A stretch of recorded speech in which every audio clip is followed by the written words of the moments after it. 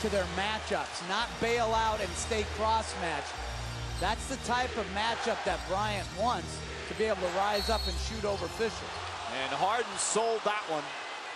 And that's the 14th foul on the Lakers. Both teams now with 14 fouls with 7.22 remaining.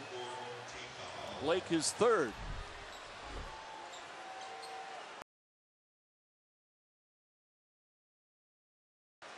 Oh, he looked like Harden grabbed him with the right arm a bit. Yeah, that was a hook.